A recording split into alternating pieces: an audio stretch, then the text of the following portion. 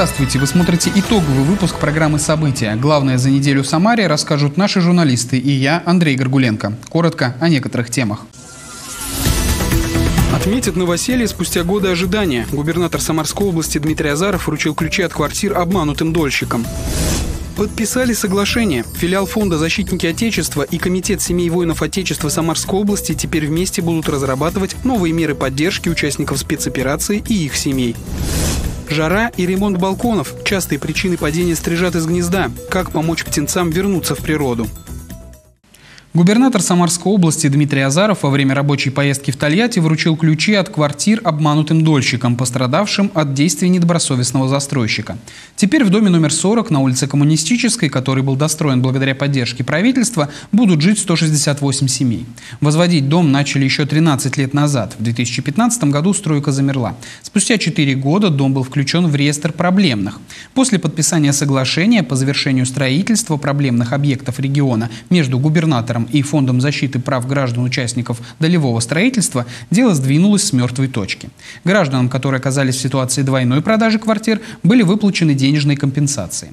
Было принято решение о достройке дома. Отметим, что в Самарской области с сентября 2017 года из 88 многоквартирных домов, собственники квартир в которых стали обманутыми дольщиками, проблема уже решена на 80 объектах. Свыше 6300 человек восстановили свои права.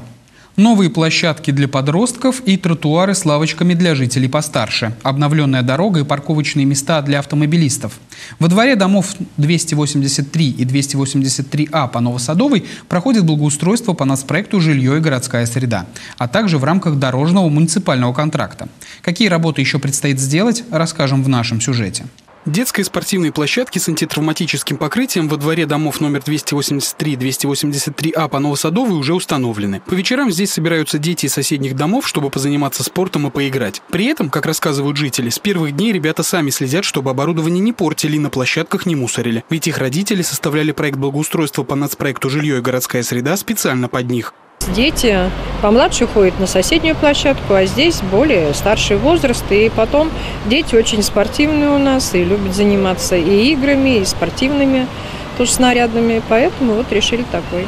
Также в рамках муниципального контракта во дворе обновляют проезд и обустраивают новые парковочные места. Сейчас специалисты заканчивают земляные работы. Скоро приступят к установке бортового камня и укладке нового асфальта на площади около полутора тысяч квадратных метров. Из-за перепада высот между дорогой и тротуаром сделают и мягкий спуск, чтобы жителям комфортно было подходить к автомобилям и летом, и зимой. Сейчас это решение уже как бы обсудили, все Теперь этот тротуар будет э, продолжаться просто по прямой выходить на дорогу, соединяться с тротуаром. И там от мозга дома и завтра сход снега, это не, там проход нежелателен. Поэтому прямая просто дорожка, она будет идти дальше прямо.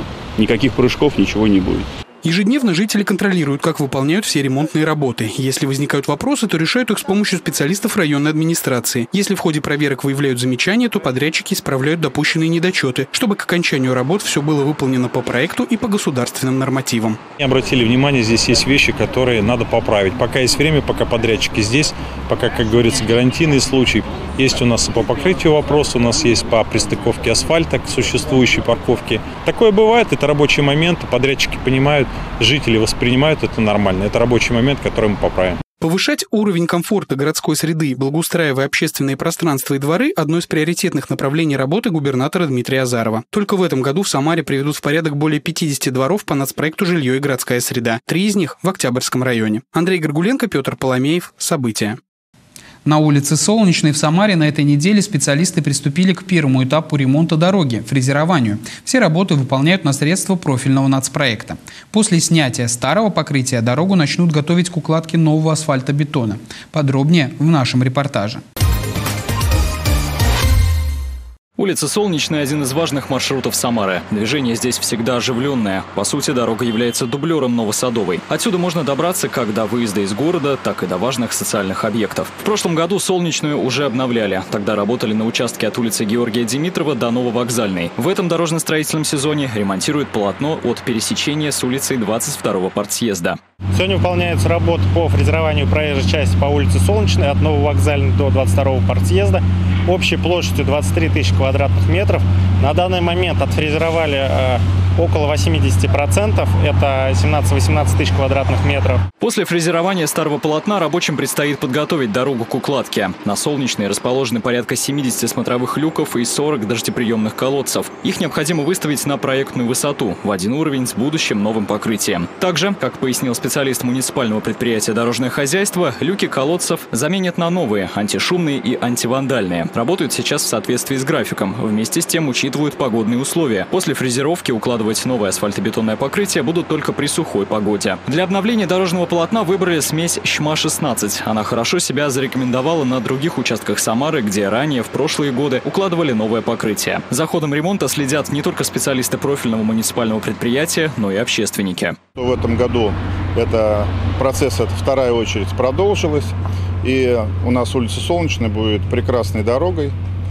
Все рады жители. Есть некоторые, конечно, которые немножко а, раздражены, но мы их уговариваем, объясняем, говорим, что будете пользоваться хорошим, современным, безопасным видом дороги. Обновление дорожной инфраструктуры в Самарской области – одна из приоритетных задач губернатора Дмитрия Азарова. Всего в регионе на средства национального проекта «Безопасные качественные дороги» в 2023 году предусмотрены различные виды работ на 85 объектах протяженностью более 233 километров. В том числе в областном центре обновят 42 участка дорог местного значения. Михаил Ермоленко, Петр Поломеев. События.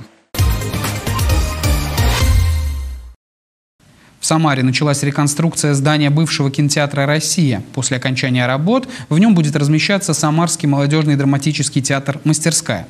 Реконструкция идет в рамках нацпроекта «Культура». В Самарском регионе его исполнение находится на постоянном контроле губернатора Дмитрия Азарова. За ходом работ наблюдала съемочная группа событий. В Самаре началась долгожданная реконструкция здания бывшего кинотеатра России. Сейчас рабочие демонтируют отдельные конструкции, чтобы затем построить новые. В данный момент на объекте на объекте по улице Чернореченская, 15 происходит э, демонтаж кровли, демонтаж внутренних перегородок, демонтаж дверей, окон, стен. Задняя стена будет полностью сноситься, будет э, построено новое сценическое пространство. А также по бокам здания будут э, строиться пристрои. А кровля также останется скатная у основного здания а у пристроев она будет пологая. В здании будет располагаться Самарский молодежный драматический театр «Мастерская». В нем сделают просторный зрительный зал, холл и буфеты. Реконструкция ведется в рамках нацпроекта «Культура». Большое внимание развитию отрасли уделяет губернатор Самарской области Дмитрий Азаров, который является председателем комиссии Госсовета Российской Федерации по направлению «Культура». Только за последние три года в Самарской области построены два и обновлены более 30 домов культуры, модернизированы три театра. Ведется строительство здания для театра «Грань», готовится к открытию первый в стране филиал Государственной третьей Третьяковской галереи. Завершить реконструкцию бывшего кинотеатра планируется в декабре 2024 года. Местные жители говорят, что первыми придут на спектакли. Они рады, и что здесь появляется вот такой очаг культуры, вот. И тем более в этом году у нас проходило голосование за благоустройство территории на следующий год, э, в котором участвовала данная вот улица и бульвар по улице Чернореченской. И мы являемся в числе победителей, и жители с удовольствием голосовали, потому что понимали, что и бульвар новый, и новая площадка, театр, это просто это подарок как бы судьбы какой-то.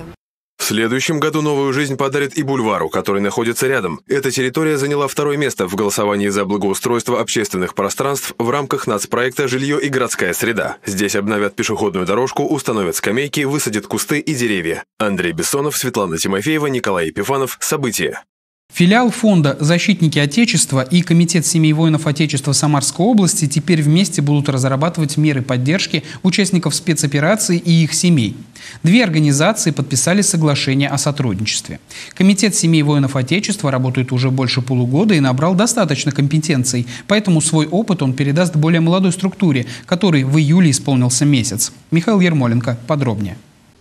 Две организации, областная и филиал федеральной структуры, теперь будут работать единым фронтом на благо военнослужащих, участников спецоперации, мобилизованных самарцев. С подписания соглашения начинается плодотворная совместная работа в важный для страны период. Организациям предстоит внедрить новые меры поддержки защитников, а также улучшить имеющиеся. В частности, сейчас специалисты занимаются помощью детям бойцов спецоперации. Для них поступление в вузы региона будет упрощено. Так, например, члены семей погибших участников СВО смогут поступить в высшие учебные заведения на льготные бесплатной основе, без вступительных испытаний. И вторая большая категория – это дети а, э, семей участников специальной военной операции. Они поступают по вступительным испытаниям, либо по результатам ЕГЭ, но на по отдельной квоте. Каждый вуз дает не менее 10% бюджетных мест от отдельной квоты. Комитет семей воинов Отечества в Самарской области работает уже больше полугода. За это время специалисты обработали 1628 обращений, поступивших на горячую линию и через телеграм-канал. Опыта накоплено достаточно, им готовы всесторонне делиться с другими, более молодыми организациями. И большинство обращений мы отрабатываем конкретно с министерствами, с Фондом защитника Отечества, такая групповая работа. К нам подключилась и военная прокуратура, и э, Минсоц. При поддержке губернатора Дмитрия Азарова и властей Самары участникам специальной военной операции оказывают всестороннюю помощь. Продолжают работать как с семьями защитников, так и напрямую с военнослужащими. Действуют различные льготы. Так, например, дети бойцов получают бесплатное питание в детских садах и школах. Михаил Ермоленко, Николай Пифанов. События.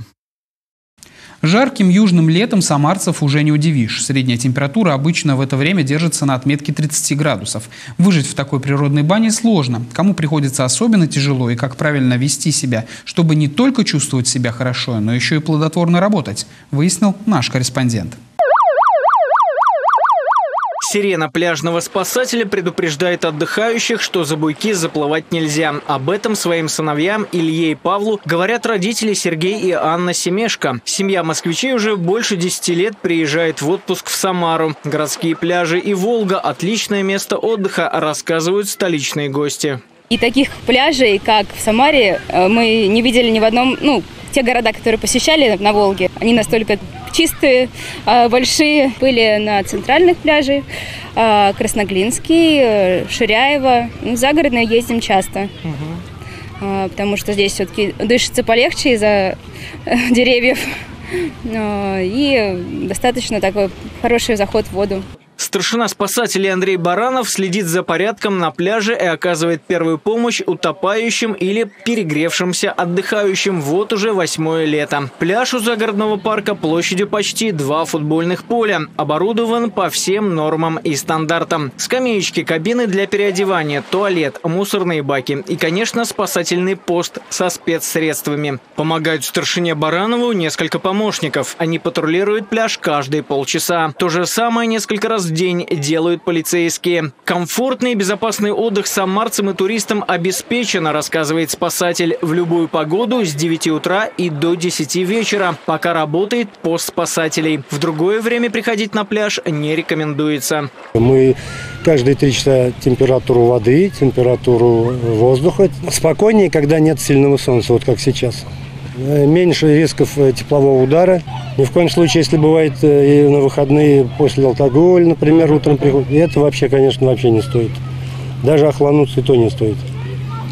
Оступился, там как угодно повело и 30-градусная жара особенно опасна для людей с заболеваниями сердечно-сосудистой системы. Артериальное давление у них падает. Ничего хорошего такая погода не принесет и людям с вегетососудистой дистонией, а также с лишним весом или с его дефицитом. Избежать кризисных ситуаций в это время можно, соблюдая простые правила. Избегать нахождения в жарких душных помещениях, нахождения на солнце, особенно в период с 11 до 17 часов. Обязательно питьевой режим. Причем надо учесть, что вода должна быть не газированная, снижается давление еще больше, страдает кровоснабжение головного мозга и сердца, могут быть обмороки и так далее. По этой же причине нужно употреблять воду небольшим, небольшими объемами, по 200 мл, но каждые 30-40 минут. Черном списке во время жары кофе, крепкий чай, энергетические напитки и алкоголь, а также жирная высокобелковая пища. Осторожно надо принимать и водные процедуры. Заходить в ледяной водоем, душ или ванну запрещено категорически. Это опасно остановкой сердца. Но и головокружение, боли в груди, нарушение слуха или зрения – первые признаки беды. Если все-таки эти советы были отвергнуты и солнечные или тепловые удары случились, то нужно действовать по следующей инструкции.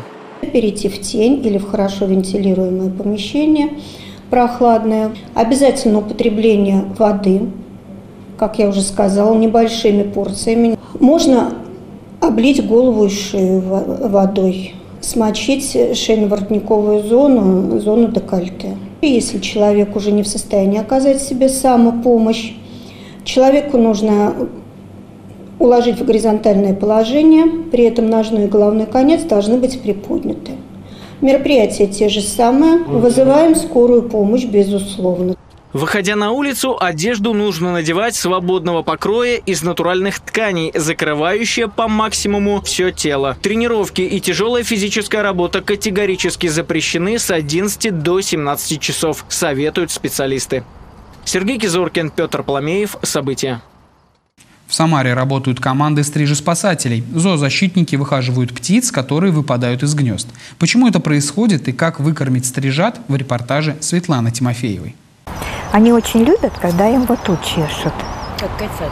Да, да, да, да. Они даже запрокидывают голову, только не мурлыкают. Галина Шавлякова выхаживает стрижат уже несколько лет. Первую птицу подобрала в 2018 году. Женщина лечит, выкармливает, а затем, если стриж может уже самостоятельно летать, выпускает на волю. Определить, что стрижонок готов встать на крыло, несложно. Да он сам скажет, что он готов. Он хлопает крыльями, отказывается от еды. Он может вылететь даже из таза. Мы тазы накрываем, они энергичные. А выпускаю я прямо вот на этой площадке. Угу. Вот она достаточно большой разбег, и я уже привыкла, уже много лет выпускаю именно здесь. Галина старается узнать о стрижах как можно больше. Внутренний мир птиц, куда они улетают. Говорит, что есть несколько волн стрижепада. Это прилетают толстые, красивые стрижи, гнездиться. И вот начинаются бои за самку, бои за место. И вот они падают. Это первая волна. Это касается взрослых стрижей. Потом у взрослых стрижей идет вторая волна. Она самая тяжелая. Птенцы оказываются вне гнезда, когда люди начинают ремонтировать балконы. Стрижеспасатели этих птиц так и называют – балконники. Случается, что родители бросают своих птенцов, когда устают их кормить. Много птенцов выпадают из гнезд во время жары. В Самаре спасением птиц занимаются несколько команд стрижеспасов. Ирина Хадырова – одна из них. Первого стрижа домой принесла ее дочь Диана. Это было совершенно случайно. А, дочь, э, гуляя во дворе, нашла стрижа в траве. Ну и принесла домой. Я сначала, в общем-то, не знала, что с ним делать. Я первый раз видела эту птицу настолько близко, у меня был шок.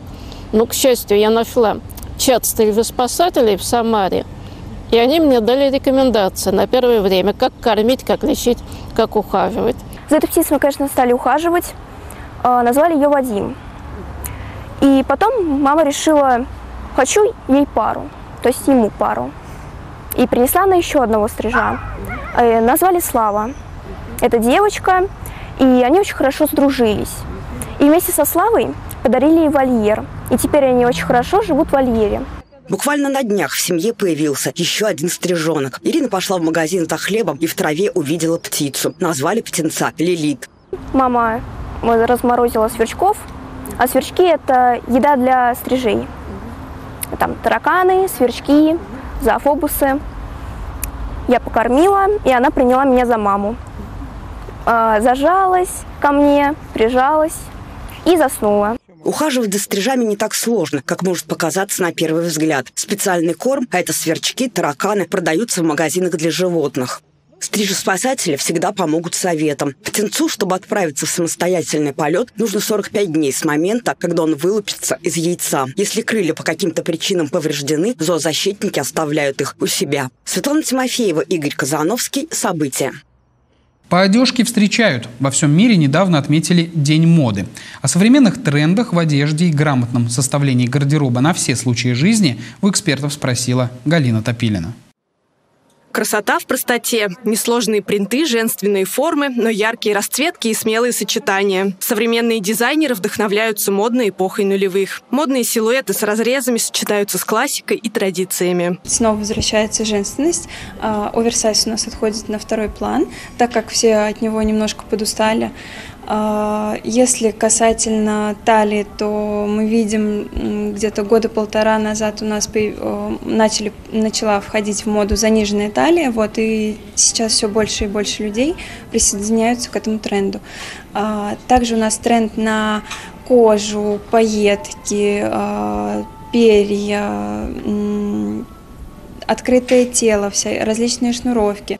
Совет, который дают стилисты – не скупать все трендовые вещи сразу. Сначала нужно оценить параметры своей фигуры, психотип, цветотип и образ жизни. И сформулировать свой запрос, что я жду от образов. Мы должны обращать внимание на контрастность глаз, э, на цвет кожи, на цвет волос. Вот. И исходя из этих характеристик, то есть мы подбираем себе цвета. Можно дома, допустим, поэкспериментировать, взять, допустим, э, ну, какой-то там лоскуток ткани там приглушенного цвета и яркого цвета. То есть мы прикладываем к себе один цвет, смотрим, как нам, прикладываем другой цвет, как нам. После этого стилисты предлагают перебрать свой гардероб, избавиться от того, что хранится на черный день или просто жалко выбросить, и приступить к формированию базового гардероба. У нас э, в сознании зафиксировалось то, что базовый гардероб это там черные джинсы, светлые джинсы, да, в гардеробе должна быть там белая футболка и так далее, но это на самом деле совсем не так. А, для каждой женщины он будет разный. А, например, для одной женщины, которая, допустим, пять дней в неделю ходит в офис, да, а, там два дня у нее выходных, она там ходит, встречается с подругами, для нее базовый гардероб будет преимущественно состоять из костюмной группы и какие-то какие ну, несколько вещей на выход. Комфорт и уют в сочетании с классикой и яркими расцветками. О своих предпочтениях в одежде рассказали жительницы Самары. Комфортный, удобный, чтобы было и ярко, и интересно, и комфортно при этом. Я предпочитаю классику. Классика это всегда ты модная всегда в ногу со временем идешь. То есть можно иметь базовые какие-то ассортимент, базовые сорочки классические, базовые какие-то пиджаки, а, и ты всегда будешь выглядеть красиво. Я считаю, что главное еще, знаете что, а, иметь какую-то дорогую обувь, дорогую сумку и дорогую фурнитуру, это очки или там бижутерии, или наши любимые бриллианты. Самой мне нравится спортшик, как бы я, я люблю более спортивные виды одежды, люблю брюки, люблю джинсы, люблю рубашки, поло и разные такие аксессуары. В зависимости от сезона, если это лето, то это более натуральные ткани. Вот. Когда была фигура, можно было носить что-то такое облегающее, сейчас уже более свободное. Любителям натуральных тканей стилисты советуют присмотреться к синтетическим материалам. В современном мире по своим свойствам они могут составить конкуренцию натурпродукту. Текстильная промышленность не стоит на месте, а создаются и появляются все больше и больше синтетических материалов, которые а, дадут фору натуральным материалам. Многие натуральные материалы, такие как а, хлопок, лен, крапива, они заминаются при носке, в то время как современные синтетические материалы по этим характеристикам характеристикам выигрывают. Но при этом они также дышат, их легче гладить, и они не мнутся сами по себе. Подбирая принты, стилисты обращают внимание на анималистические, флоральные, геометрические сюжеты и, конечно, на классику, которая никогда не выходит из моды. Клетка, полоска и горох. Эти образы в стиле ретро-шик отличаются своей элегантностью и универсальностью. Однако не стоит забывать про стилизацию ретро-образов на современный лад, отмечают стилисты. Быть иконой стиля не просто. Приходится продумывать образ до мелочей, опираясь на цвет и тип своей внешности и особенности фигуры. Например, вот это платье вполне подойдет под повседневный образ. Однако, если сюда добавить яркую деталь или, например, белую рубашку, то образ уже приобретет свою изюминку. По словам стилистов, на улицах больших городов платье в горошек будет смотреться как нечто милое, давно утраченное и невероятно трогательное. Ярко-розовый, зеленый, охра, оранжевый, серый. По словам стилиста, это тренды сезона. Образ может быть монохромным или сочетать различные цвета, которые на первый взгляд могут казаться самостоятельными. Стилисты призывают не бояться, экспериментировать, но всегда во главу угла ставить свои предпочтения, а не тренды с глянцевой обложки. Галина Топилина, Константин Головин. События. На этом пока все. Продолжайте следить за новостями на официальном сайте Самара ГИС, на страницах в Одноклассниках и ВКонтакте. Выпуски новостей смотрите на видеохостингах и в социальных сетях. Всего доброго, до встречи.